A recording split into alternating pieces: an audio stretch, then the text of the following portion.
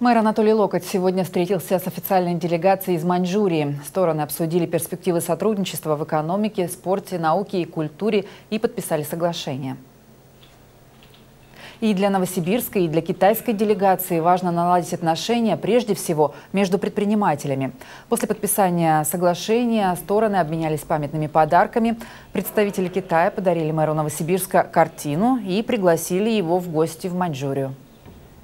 Новосибирск – красивый и большой город. Он оставил у нас много приятных впечатлений. Мы надеемся укрепить отношения между нашими городами. Новосибирск и Манчжурия уже сотрудничают в сфере сельского хозяйства. В дальнейшем мы хотим развивать отношения в области культуры, образования, здравоохранения и машиностроения.